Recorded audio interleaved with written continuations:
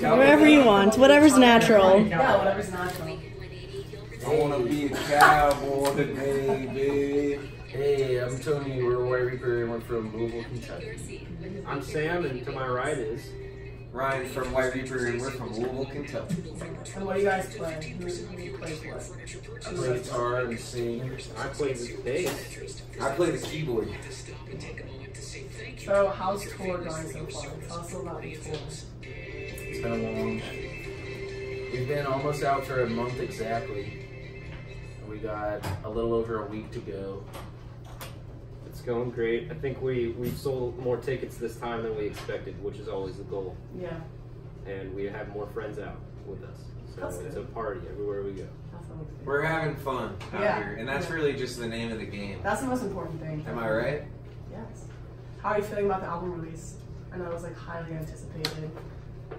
And it's fantastic. Like, very Oh, good wow. thing. So Thank you so much. congratulations. yeah, of course.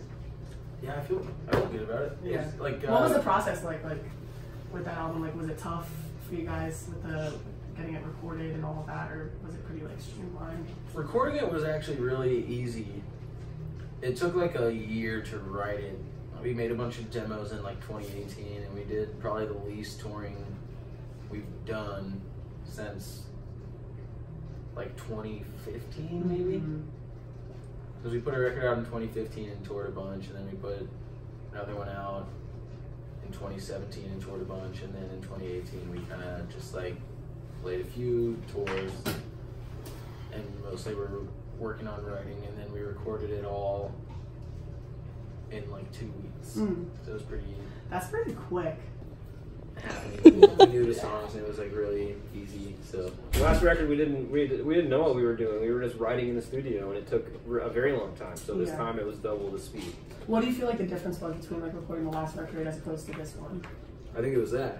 Like, um, we just wrote the last record like all in the studio. We just Mm. booked like a month in the studio, really without having any demos, and we just had like some voice memos of like little riffs here and there, Mm-hmm.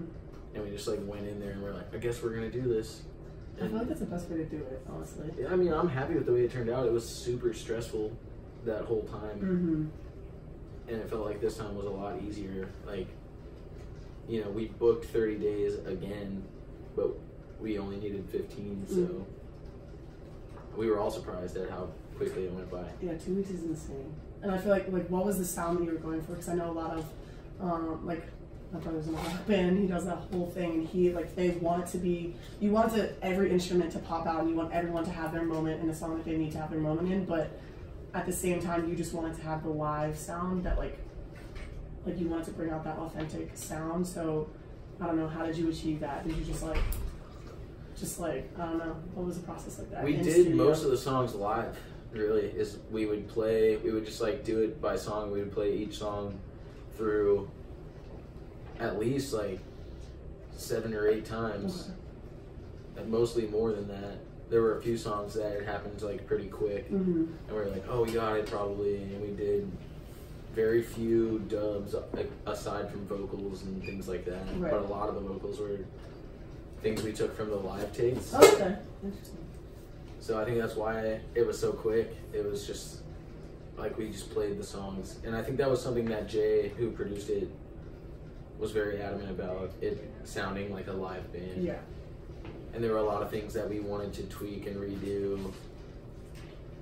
And he was like, "No, it sounds good. It sounds good." And I think that was the biggest lesson we learned this last time was that sometimes it, it sounds good, even with like a little mess up here and there. Hundred percent, yeah.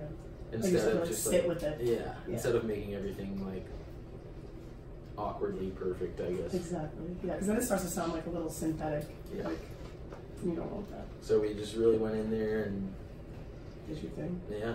What is your favorite track? Like each of you. Do you have like? Does everyone love the same one track, or is it all of them? I think mine is Saturday, Okay. Why? just because I feel like it's uh, it's like you can dance to. You can dance to it. It's a bop. Thanks. Yeah. Is that also your favorite to play? Uh, we haven't played it. We haven't really popped it out live yet, but it's my favorite to listen to for Mhm. sure on the new record. That or Hard Luck. Mm-hmm. Yeah. Uh, what about you? I like You Deserve Love. Oh. The final track. That's a sweet one. Well, how did you decide on the the album name? Sam just said it at a bar once. We were like, we should name it that. I had I had like a list of ten. I've just thought of different shit every day, like possible names, and I just put them on my phone just in case Yeah. if they turned out. And then the ones that I wrote next to that one were all pretty stupid and funny, and then that one was just kind of like sincere and Yeah. like, oh yeah, that's nice. Yeah. How is the writing process? Is it usually like super collaborative? All of you sit down, like you said, in studio and write together, or is it like one person writes one song? Is it one person who usually writes all the music? I did all the demos for this new record, but like we said on the last one, like we all just went in there and just did it. Is that hard to like talk about lyrics and like composition together? Do you think it like makes it sound more cohesive? It can be hard, but I also think it's like really important because the one thing I liked about the last record is that like everybody was there for every step of the way. And what we would do on World's Best American Band, which was the record before this one, is we would like we would jam out and then we would record this like little arrangement and then we would all go into the control room and listen to it together and be like, I think it's too long here, or like this part goes on too long, and like we don't really need this, we should do more of this. And there was like an agreement on that. I feel like the biggest thing That's Uh, crazy that we did that. I know, Yeah, it is like thinking bit. back on that, that is crazy. Yeah. But I think when you write a song, there's a lot of fat to be trimmed, and you don't really realize it. And then when you sit in a room and you all listen to it together, you're like, this doesn't need to be this long, because I don't know, you just kind of like, especially when you write songs by just like being in a room and just trying to write as a band, you get these parts that, you know, are long. Mm-hmm. And even when I was just doing the demos at home, I would sit down with Ryan and be like, does it need to be this long? Yeah. Like, I feel like a lot of it is is trimming the fat and like cutting things out of it because a lot of the like skeleton bones of songs were like four minutes and even sometimes five minutes, and we were like, this doesn't need to be that long. Like, no one's gonna listen to it. Yeah, a a five minute long. a lot of the producer's job too is to be like, take this part out. Yeah, just Yeah, like essentially. literally just being like, you don't need, you don't need to do this.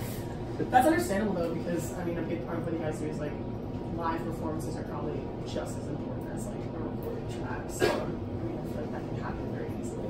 Um, Yeah. To want to like ride it out, just like have everyone like have a solo or have their have their own like a song. So that makes sense. Have you guys had like had any really weird moments on tour? Like any like crazy stuff happen? Yeah. Yeah. on on this one, Not really on this tour. this one's been just a lot of waking up early and and getting to where we need to go. Yeah. There hasn't been all too many shenanigans. But in the past, yes. Do you want to share a story?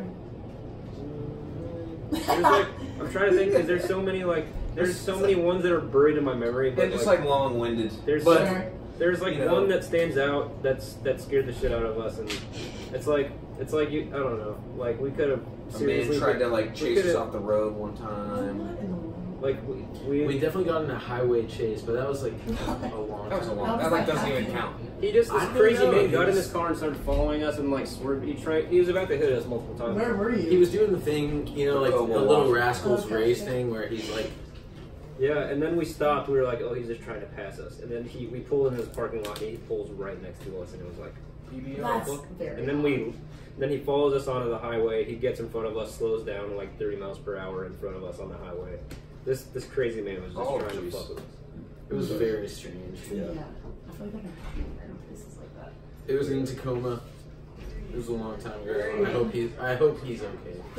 I don't Hope know. doing well. I don't know what Sorry. his problem was. but- Chicago was has Yeah, like, sorry. I guess. There's been some crazy stuff that's happened. Nice try. Chicago.